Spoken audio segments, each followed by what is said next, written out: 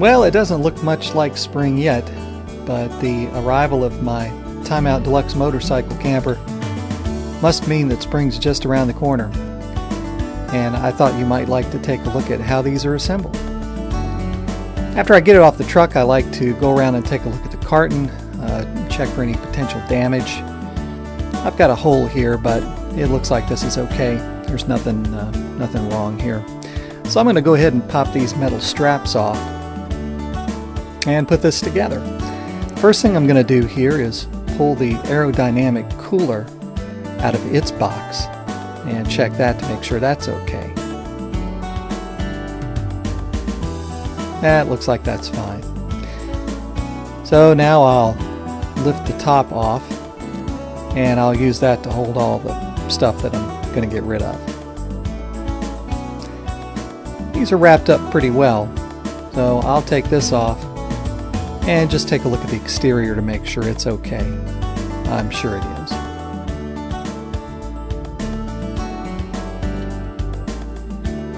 Alright, the next thing I'm going to do is pop the latches on either side of the lid.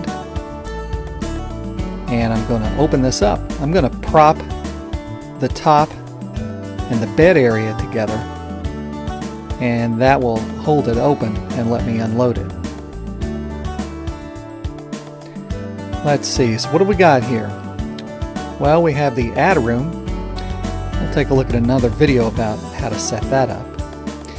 Uh, we also have the L-shaped awning. We have the air conditioning stand.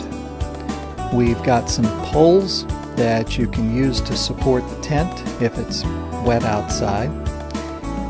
I have 10 poles associated with the Add-A-Room, and these can also be used for the L-shaped awning.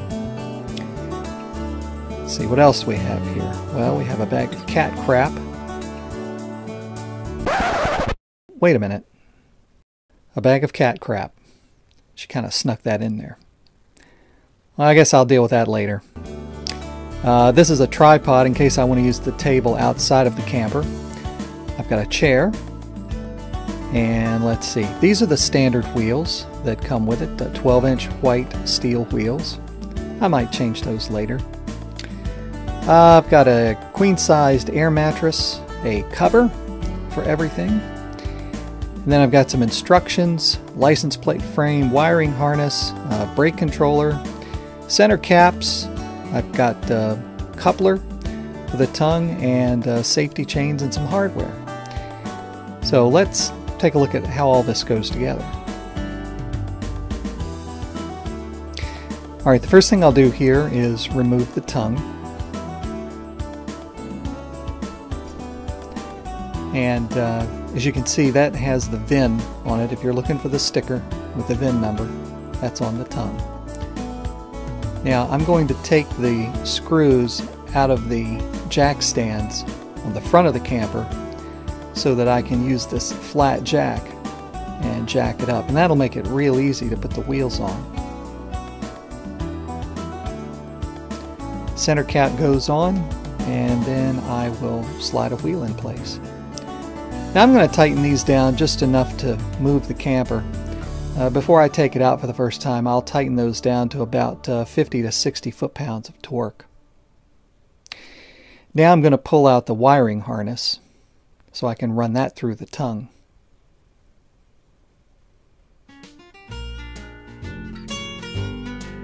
Now I got the lighted cooler package and uh, the wiring harness is pre-wired here, so I've got a pair of leads that go to the lighted cooler package. On the front here, I've got a 5-pin flat plug for the lights, and I've got a 2-pin plug for the brakes. You can always change that. I might change that later to something smaller, but for now, I'll leave it as it is. So after I run the wiring harness through the tongue, I'm then going to run the tongue back through those two brackets that are on the front of the camper. And I'm going to use the grade 8 hardened bolts that come with it to lock that into place. Now this comes with nylock nuts so you don't need to use washers with it. And now just uh, taking a look underneath of the camper, I've got a nice solid powder coated steel frame. uh, independent rubber torsion suspension. I've got a spot there in the back where I can uh, mount a spare tire underneath. It's just a nice, clean, sturdy setup. This camper will last for a long time. Now I've run uh, two bolts through the coupler in the front and I'm ready to pull this off the pallet. Now I would recommend that you either put a set of uh, uh, runners or um, something underneath the tires to run it off the pallet or uh, since I'm not going to keep the pallet I'm just going to cut it up uh, because if you try to run the wheels over that middle section uh, they'll drop down and then you'll be stuck.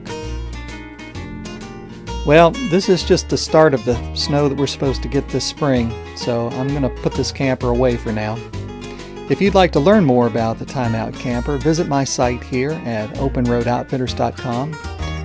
Feel free to drop me an email.